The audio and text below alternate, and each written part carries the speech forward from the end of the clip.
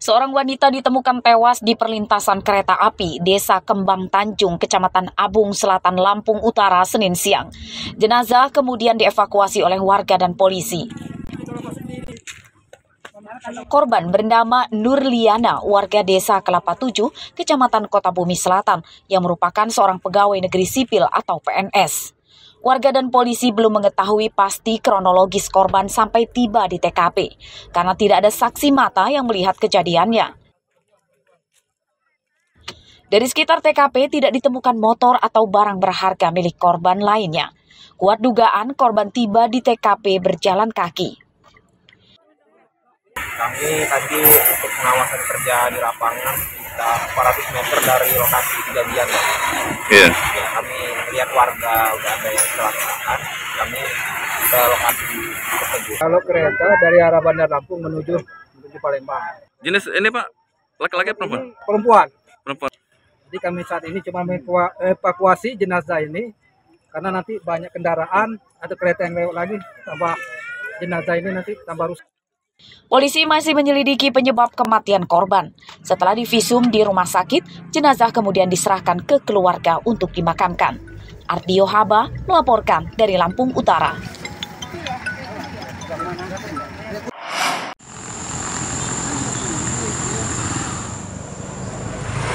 Seorang pemancing bernama Haidir berusia 56 tahun dilaporkan hilang diduga tenggelam di Sungai Wai Abung, Kelurahan Kota Bumi Udik, Kecamatan Kota Bumi, Lampung Utara, Senin siang.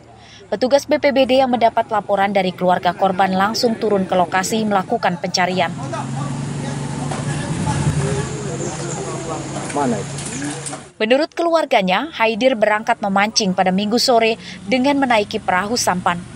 Hingga malam, Haidir belum pulang. Saat dicari ke sungai, keluarganya hanya mendapati dayung saja. Sementara perahu dan Haidir tidak ada. Ya pastinya dia turun habis maghrib itu nggak pulang-pulang lagi sampai sekarang. Dari kapan, Pak? Kemarin sore. Dari kemarin sore. Habis maghrib dia turun itu mau ngompanin tajur. Sampai sekarang belum pulang-pulang. Yang baru temu itu cuma dayungnya. Pencarian Haidir dibantu warga dan nelayan. Petugas BPBD juga akan mendatangkan Basarnas Lampung untuk mencari korban. Masih dalam pencarian. Langkah kita Bang? Kita sudah turunkan eh, anggota dengan satu perahu dan kita sudah laporkan kepada Sarnas dan Sarnas sedang dalam perjalanan berangkat ke sini. Pencarian dilakukan hingga radius 1 km. Hingga Senin sore, pencarian korban belum membuahkan hasil. Keluarga dan petugas berharap korban dalam kondisi selamat. Ardio Haba melaporkan dari Lampung Utara.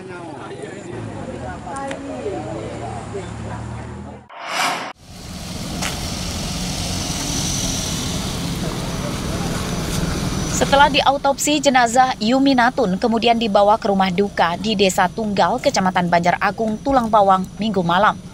Di tempat ini, jenazah tidak dibawa masuk ke dalam rumah, melainkan dipindahkan ke ambulans lain.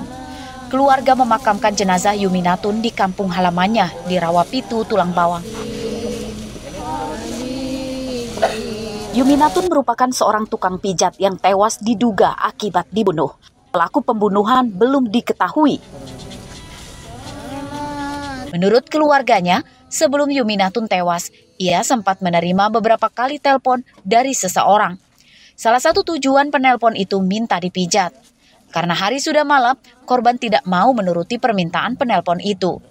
bawa ke dapur ngebel di dapur ada lima menitan terus balik lagi habis itu minum kopi dia sama saya sama Nur itu sama anak angkatnya itu Katanya malam hari ada yang minta pijit secara maksa itu bagaimana? Pak? ngomongnya o- ngomong sama dia on- warna unit tiga katanya kita bilangin gini nggak usah besok aja gitu ya Sudah malam. udah malam terus dia ngomong kalau nganu nggak usah deh udah malam besok lagi aja capek udah habis mijit di situ di RK 7 berapa itu dia Jenazah Yuminatun ditemukan bersimbah darah di lantai kamar di rumahnya pada Sabtu malam lalu. Jenazah ditemukan oleh seorang anaknya yang baru pulang bermain. Yuminatun tewas dengan dua luka bekas sayatan senjata tajam di perutnya. Hingga Senin siang, pembunuh Yuminatun belum ditangkap polisi. Mustaqim melaporkan dari Tulang Bawang.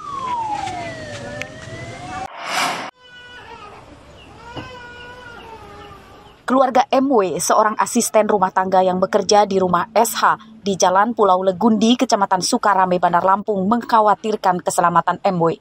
Sebab majikan MW berinisial SH dan putrinya berinisial SA ditangkap polisi karena diduga menganiaya dua asisten rumah tangga yang merupakan teman MW. Nanti bisa pulang gitu. Oh, waktu yang kabur itu. MW merupakan warga Pugung Tanggamus. Kekhawatiran orang tua MW itu juga didasari karena MW tidak kunjung pulang selama empat tahun bekerja di rumah SH.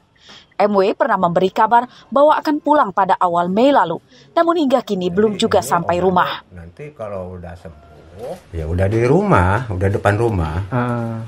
Kita itu bukan mau apa-apa ke situ kan, hanya mau cara baik-baik, mau izin minta pulang, mau dia supaya selesai resmi gitu, nggak ada urusan apa pun. Nah sesudah itu runding runding runding runding, nah udah gitu nggak boleh mau pulang kan?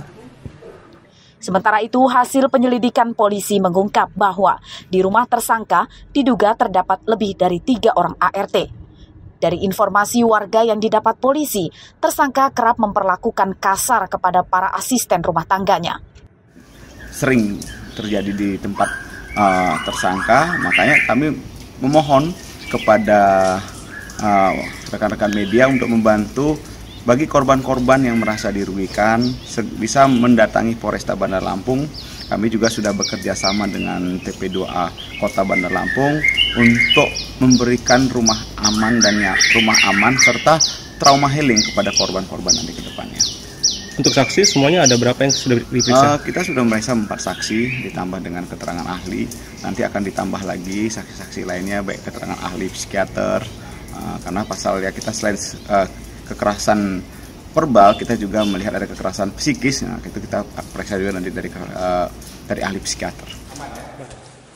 Diberitakan sebelumnya, polisi menangkap SH dan SA, dua wanita ibu dan anak, warga Jalan Legundi, Kecamatan Sukarame, Bandar Lampung, yang menganiaya dua ART berinisial DDL dan DL. Kedua korban melapor ke polisi setelah bisa kabur dari rumah tersangka karena tidak tahan kerap mendapat penganiayaan. Ari Susanto melaporkan dari Bandar Lampung.